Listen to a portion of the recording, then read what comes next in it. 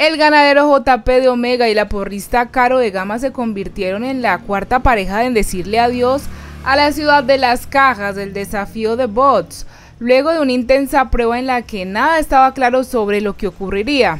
De parte de los hombres JP, Cabún y Escudero llevaban una amplia ventaja sobre MacArthur, pues este llegó enfermo al Bos Negro luego de pasar varios días sin comer en la denominada Playa Baja.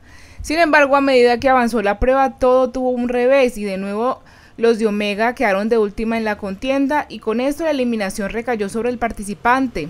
Al momento de ser publicada su salida en redes sociales, las reacciones no se hicieron esperar, por lo que los seguidores del programa no dejaron pasar por alto el momento para opinar al respecto sobre el participante Maluma.